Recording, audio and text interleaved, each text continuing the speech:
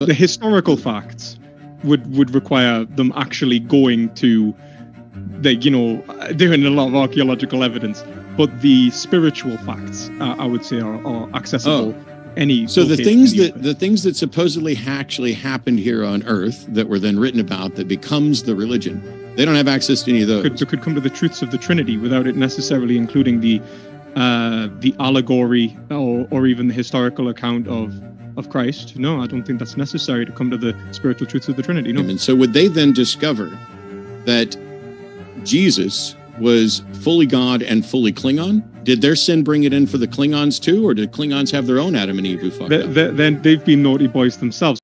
Let me let me ask you a couple quick hypotheticals that might be useful. Yeah. Do you think there is intelligent life elsewhere in the universe? Very most most likely. I can't prove it, but yes, I would imagine there is. Do they have the Catholic Bible? Uh, probably not, Um, unless Jesus went and visited them, and perhaps the whole the, the Holy Spirit has revealed to them the same thing. Um, but the, Wouldn't- I, I wouldn't that- you. wouldn't that need to be the case? I mean, if oh, okay, because my my thought is that your definition of truth is that which comports with the mind of God. So then they Mhm. don't have access to truth. No, they do. I mean, that, that's there's a difference between if I was to say reality and the mind of God are one and the same, and that we are set within a panthe, panthean, within a panentheistic conception of reality, um, then th- their existence would simply give them access to the mind of God, uh, so long as they have epistemological mechanisms, they're capable of But reasoning have- and perceiving the world. If they have access to the mind of God, and the mind of God comports Mm-hmm. directly with what you understand as Catholicism, then they would have access to Catholicism. Well, they would have access to evidence that Catholicism was true, uh, which is exactly what Thomas Aquinas argues that we could look, we don't necessarily need to look to scripture in order to prove the truths that are in Catholicism. And he argues that they're all provable through natural reason, which I would concur. Um, So you that think we- that the statements in the Athanasian Creed yes, Are- are, are all pro- provable through reason. really? Because it Yeah. starts off, um, well, there's the father. Whether the the, the historical facts would would require them actually going to the you know doing a lot of archaeological evidence but the spiritual facts uh, i would say are, are accessible oh. any so the things the that the things that supposedly actually happened here on earth that were then written about that becomes the religion they don't have access to any of those. Well i don't but think the- that becomes a religion at all either and i, I I mean i'm almost a perennialist sorry i don't mean to interrupt uh, i'm almost a perennialist when it comes to this stuff. But you're saying they don't have access to any of that but they will know would- they will know that there's a trinity yeah the trinity they could they could they could come to the truths of the trinity without it necessarily including the uh the allegory or or even the historical account of of christ. No i don't think that's necessary to come to the spiritual truths of the trinity no. Might make me very popular among many catholics. I don't like i, I think that the the i don't rely upon divine revelation through scripture in order to create a rational logical inference in which how reality is purported to work within within scripture. It's not like it's not when when when we look towards the truths of christianity they should be observable within the natural world. And if your eh, well any christian i would say this any christian's version of christianity which does not pu- purport to nature needs to give their head a wobble because they are being actively contravened by their experiences which demonstrates that they are wrong um, so no, so no, I would I wouldn't I wouldn't necessarily have to rely upon simply a scriptural take. Um, okay but if we go through this thing so um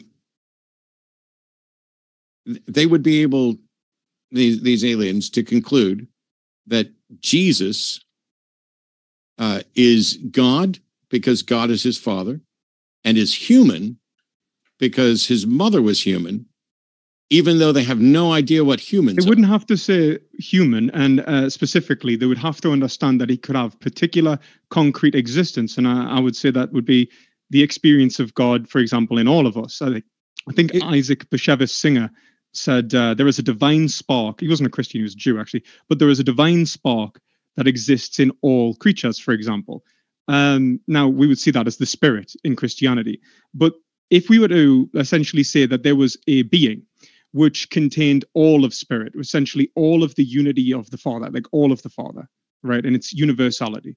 But as a particular being, and we see that this necessarily must exist for any other particular being to exist, you know, because a particular can only be understood if this was necessarily possible or necessarily concrete, then we would say that there is a being. Doesn't then alien might portray it as its own race, you know, could portray it as a cow. I don't, I don't really care. They might portray it as something else, but that would necessarily, um, you know, the like for example, the Father, the Son, and the Spirit. In logical terms, they could come to that truth, and I think that they very well might come to that truth. So, for for clarity, we'll we'll go with Klingons. Klingons, good choice. So, Klingons wouldn't know anything until they actually met and interacted with humans. Wouldn't know anything about humans. So, would they then discover that Jesus was fully God and fully Klingon?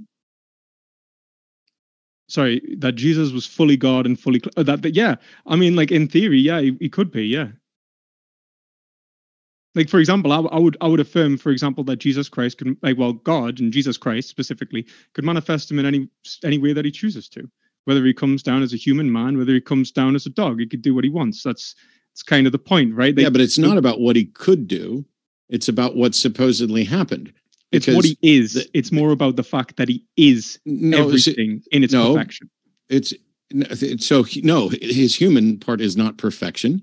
His oh, human oh, is thing, is there is the sinful nature. This is supposed to be an no, atonement no, for look, human look sin. The, where I'm still talking, where sorry, sin and sorry, death sorry. were brought into the world by the sin of Adam and Eve. Um, did did their sin bring it in for the Klingons too, or did Klingons have their own Adam and Eve who fucked the, up? The, then they've been naughty boys themselves. But the the the so the story just the, repeats everywhere where there's intelligent life, with Jesus repeatedly coming down, taking that form, and dying remember, in order to free sorry. them. Remember, Catholics as well don't take, for example, something like Genesis to be literal. Uh, we take it to be allegorical, and a lot Some of the do. Bible to be allegorical. Uh, well, we're supposed to. It's the word of God, not the words of God, which has been well, divinely the, inspired. The one true faith specifically talks about, you know, uh, he yeah, suffered. He suffered for our salvation, descended to hell, arose from the dead, ascended to heaven, is seated at the Father's right hand. Is all of that allegory too? Um, I mean, I wouldn't have a problem interpreting it as allegorical. Um, it's well, I would probably be heterodoxical for saying that, still contained within the Catholic Church, but um, not the primary uh, in uh, interpretation of, of, scripture. But yeah, I would say that it's very possibly allegorical. I'm not here to debate biblical history. I'm here to debate spiritual fact, uh, and that's why I'm arguing that uh, that this is possible and accessible to to let's say Klingons. And if you look at the Bible and the well, look at the uh, I can never say the Athanasian Creed.